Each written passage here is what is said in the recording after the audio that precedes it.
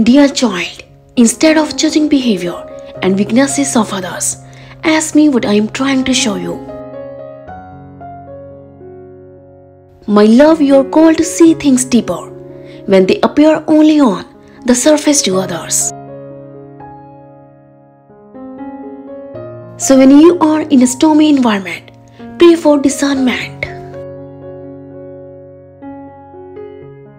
Sometimes I will ask you to pray for them. Other times I will teach you how to handle these battles. Yet other times I will reveal traits that in a certain form dwell in you.